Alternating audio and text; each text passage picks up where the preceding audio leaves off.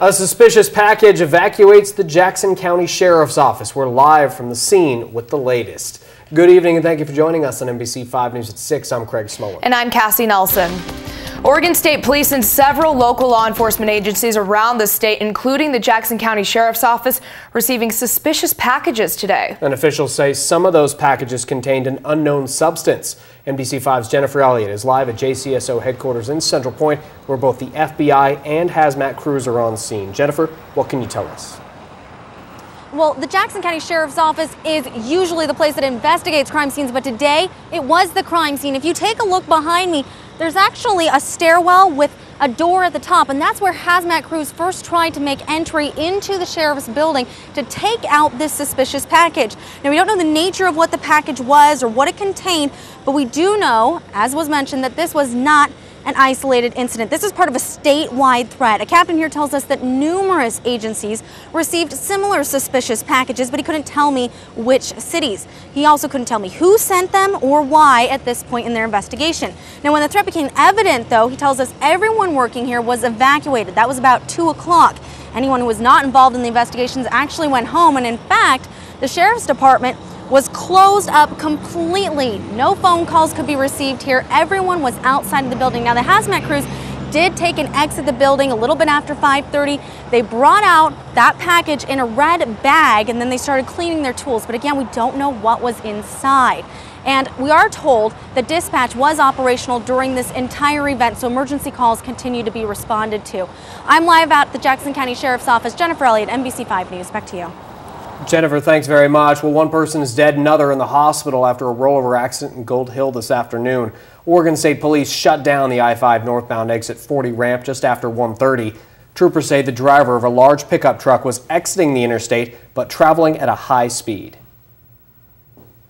As you can see, hit the guardrail, rolled multiple times in the dirt, and then landed up on the, uh, on the ramp. Both victims had to be extricated from the vehicle. The extent of the driver's injuries are unknown. The passenger was pronounced dead on scene. No other vehicles were involved the ramp is back open tonight. Well, local law enforcement agencies are issuing a warning tonight after they say a man posed as a police officer over the weekend and pulled a driver over. Not only was his act illegal, it was also potentially dangerous. NBC5's Kyle Averman spoke with police about the incident today and joins us live with the story. Kyle? Yeah, Cassie and Craig, the man who posed as an officer ran off when the driver was smart enough to realize something wasn't right and began questioning him. Police say this story serves as a good reminder to always follow your instincts. Those dreaded lights. It's something as drivers we hope to never see. But over the weekend, one woman did see those lights behind her somewhere near Antelope Road in White City. Thinking it was a police officer, she pulled over. She became suspicious and eventually confronted him uh, and wanted to call 911, at which time the individual left the scene. The case ended without anyone being hurt, but that's not always the case. So, how do you tell if the person who pulled you over really is who they say they are? Let's start with the vehicles. We're always going to do more than just the windshield lights. There's typically going to be uh, the lights that are going to be in the grills or in the headlights, which would be very difficult for somebody to, to, try and emulate. And in this day and age, uniforms are no sure thing. The badge, the duty belt, the radio, you know, they'll probably be talking to the radio, you'll hear traffic potentially. We can't say that nobody will ever acquire some of these items, but the likelihood is very low. If you are still uncertain about either, you can ask to see their identification card or tell the officer you want to call 911 just to verify who they are. The most sinister cases are the ones where there's usually some type of motive of a sexual assault behind the whole thing, and that's, a, that's our biggest concern because that has happened in the past. Unfortunately, we'd never want to see that happen again. Impersonating an officer is a punishable offense and is considered a Class C felony. As for the case over the weekend, the suspect is described as a 40 to 45 year old man with an average build and thinning hair. If you have any information on this case, call the sheriff's office. Live in studio, Kyle Averman, NBC5 News. A California man led police on a high-speed chase in a stolen pickup truck pleaded guilty this morning. 24-year-old Matthew Darren Duck will serve 20 days in jail for auto theft and attempting to elude. Duck stole a pickup truck in Yreka on July 10th. He was arrested after a chase on I-5 and Highway 66 that hit speeds of up to 110 miles an hour. Duck was also sentenced to three years probation in order to pay over $1,000 in restitution. A judge has granted a request for a new attorney from a Klamath Falls man charged with murder. James Forshee is accused of killing 42-year-old Emery Connor. Police say Forshee shot and killed Connor in April of last year at a Klamath Falls rail yard. The judge said he would appoint a new lawyer next Monday. Forshee's trial is scheduled to begin in late September. Wildfire season expected to pick up as the fire danger level jumps from high to extreme tomorrow in Jackson and Josephine counties. A spike in the temps and dry conditions are prompting the Oregon Department of Forestry to set some new regulations. As of tomorrow, all power equipment needs to be used before 10 a.m. to cut down on the possibility of man-made fires. Fire danger just naturally goes up a lot when you get into temperatures, I'd say from mid 90s into the hundreds. Uh, just becomes oven hot. ODF's fire prevention specialist says we can expect the danger level to remain at extreme until we get at least half an inch of rain across southwest Oregon. Another beautiful day outside, but get ready for some very hot temperatures later this week. Meteorologist Adam Kolpak live now with a first look at our forecast. Hey, Adam. Hey, Craig. Yeah, we've got a beautiful forecast right now, but things, like you said, are changing. We're going to be dealing with some uh, possibly record high temperatures coming up in the seven day. Take a look outside right now. It is beautiful, and uh, we have plenty of sunshine with the temperature at 84, the relative humidity at 24%, a northwest wind at 10 and a steady barometer at 30.07 inches. The wind will be a factor also tomorrow and also with the dry conditions. That fire weather threat will be on the high side as well. 79 for Brookings. We have 75 for Klamath Falls and 70 for Lakeview. Wind out of the northwest at 12 in Brookings. North at 24 for North Bend. That wind gust, though, out of the north at 32 for North Bend and north northwest at 23 for Montague. We're basically dealing with clear skies now. We're also going to see some more moisture in the seven day. I'll have the full details in just a bit. Back to you.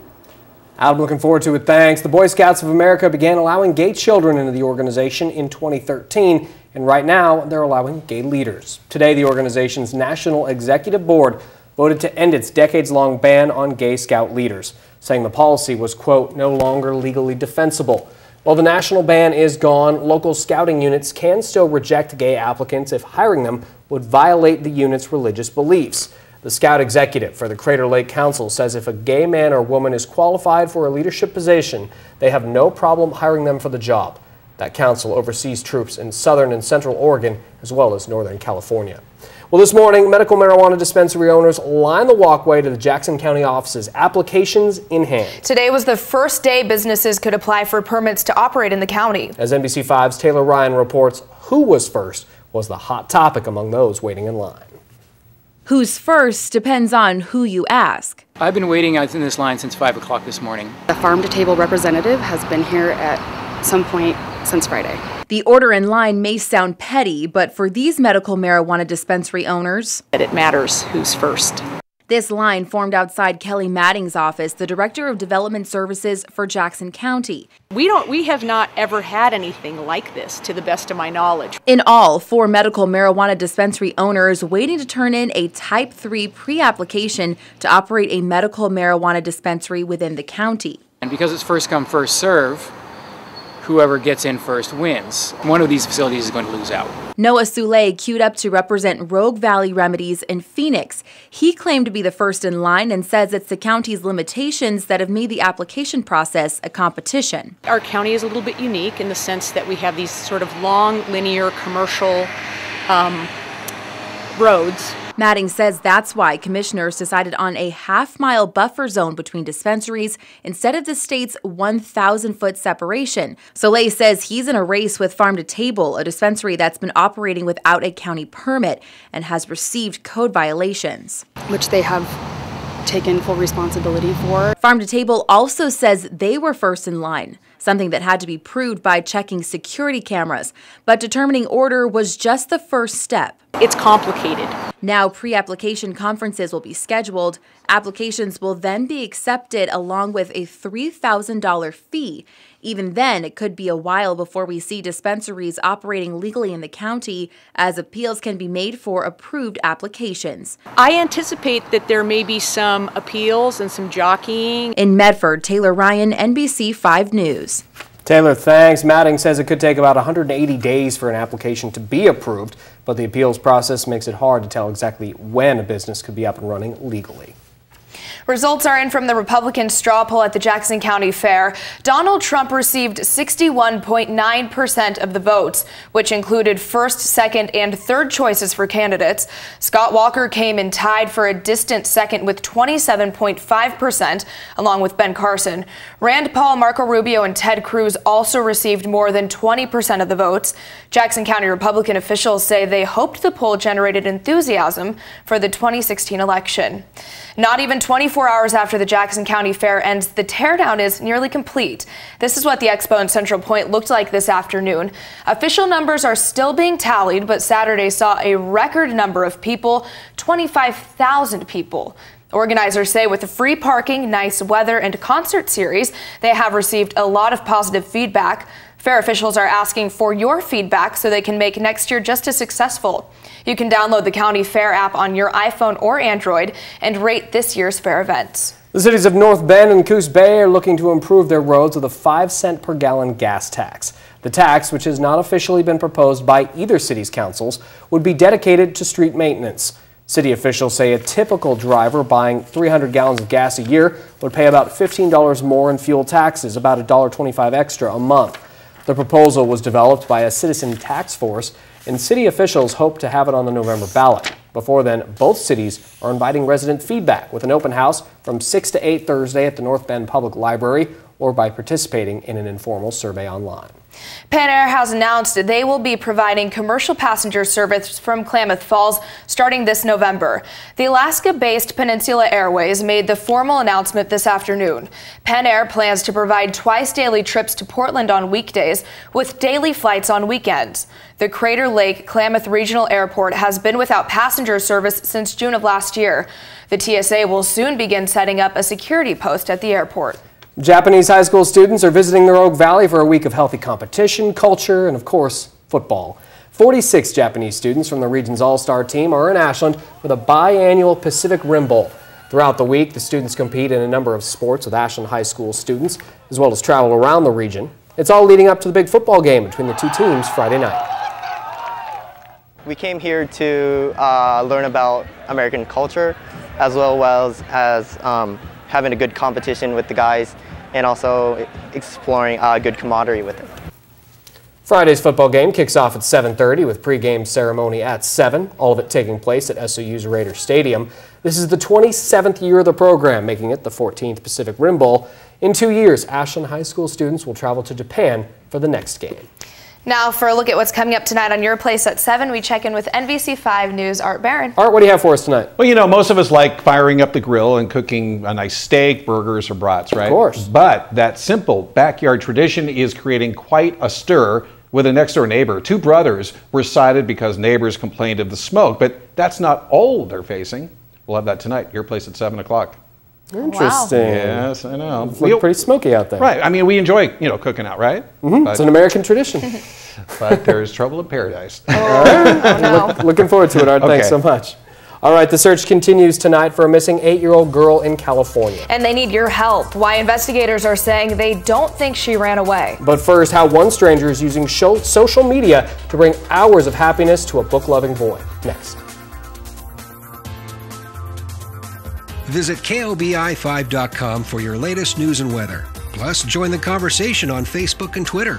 NBC5 News, your place